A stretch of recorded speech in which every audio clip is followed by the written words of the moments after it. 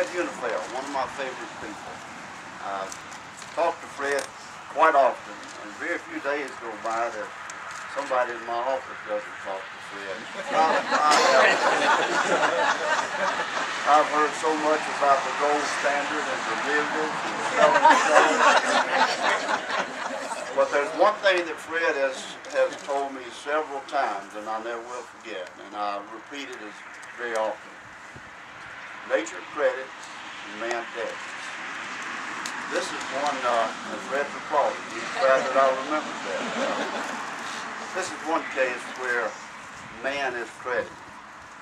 Red and his family, crediting this community in this state with what we see here today.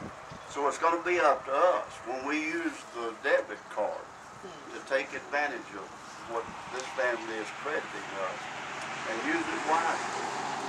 Oftentimes we don't do that. But we've a lot to be thankful for in this community. We have things to complain about, of course. But look around and be thankful for what we do have. And I want to thank those that are willing to work hard, work together to do some good things for Louisiana, especially Northeast Louisiana. It's a pleasure for me to be here. It's a pleasure for our office work with others to make good things even better. Thank you and, and God bless you.